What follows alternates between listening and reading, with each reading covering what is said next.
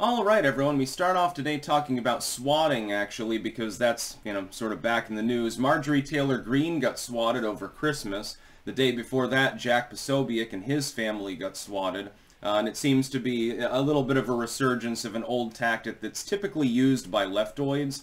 And here's my suggestion for how to stop it, because clearly something needs to be done about this.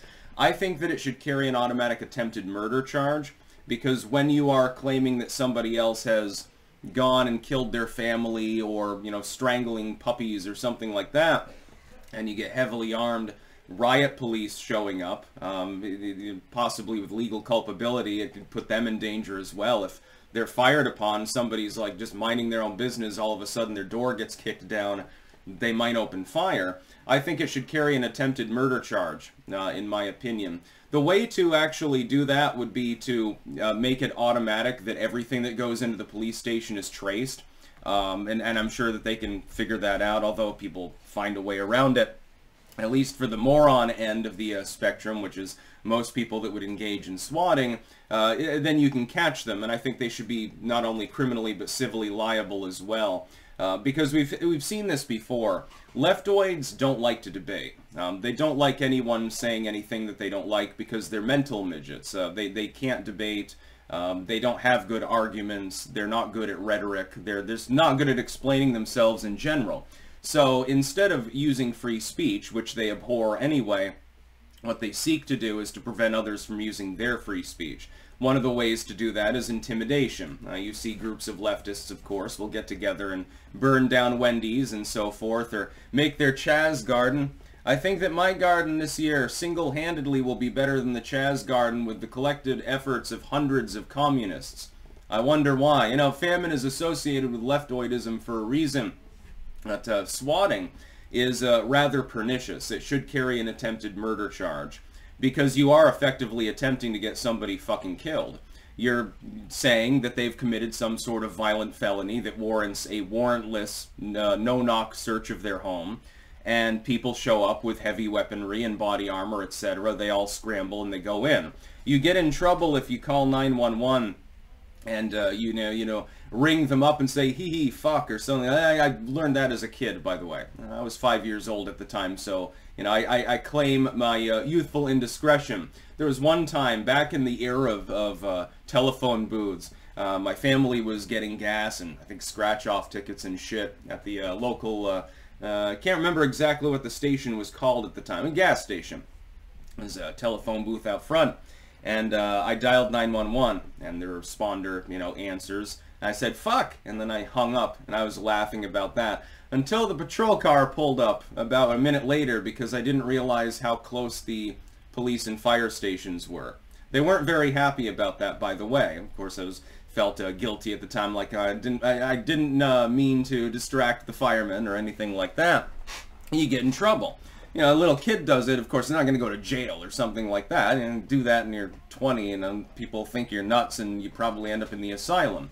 Why is it that, therefore, you can call up the police and claim Marjorie Taylor Greene has gone on a shooting spree or Jack Posobiec has killed his kids and is on a rampage and the police show up and nothing is done about it? The only other possibility is that we need to create like a docket uh, for people that are reasonably notable, especially on the internet, especially in the political capacity to prevent this from happening. Like, uh, uh, it's suggested that if your audience is of, of considerable size, like I guess mine would qualify, you should check in with your local sheriff and say, hey, you know, I make political content online and, and you know, 100,000 people watch me tomorrow. So if you get a tip that at this particular address there's been an axe murder, it's probably bullshit uh, because I'm not into axe murdering people.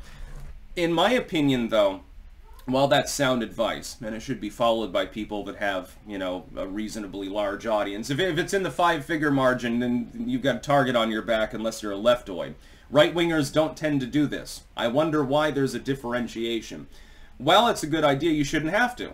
There should be some sort of automated process to protect those who wish to speak out speak to a large audience, and the, you know, the onus should not be on them to have to go to their local sheriff and the local police and the stadies and shit like that and explain to them, hey, by the way, if you ever get a call that I'm in my window with a sniper rifle killing my neighbors, it's probably horseshit. And you should, when you show up, don't worry, you can knock on the door and you're not going to get shot or something. The onus should not be on us to have to do that.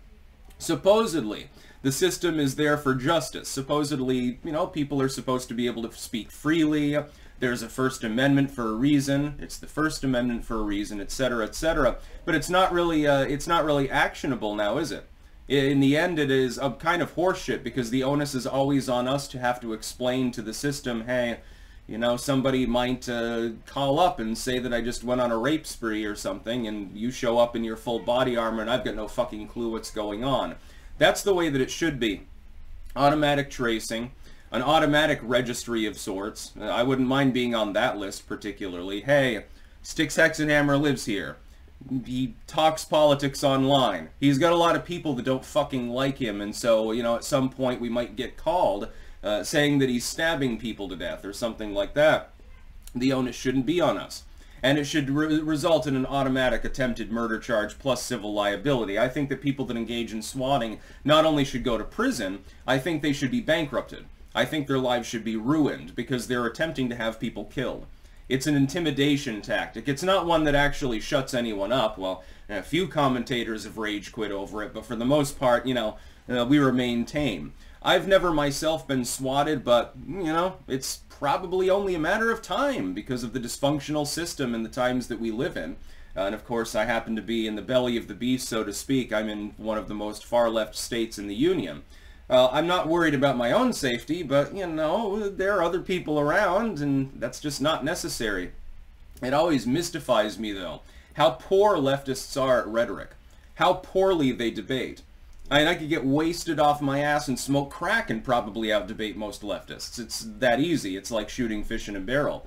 These people uh, have nothing to say, and so they don't want anyone else to be able to say anything. That's basically the long and short of it. It's the heckler's veto, only on steroids. If it's sort of like when they show up at a, a university event. Somebody that they don't like, some commentator is talking about the border or something, uh, taxes, and they shout him down.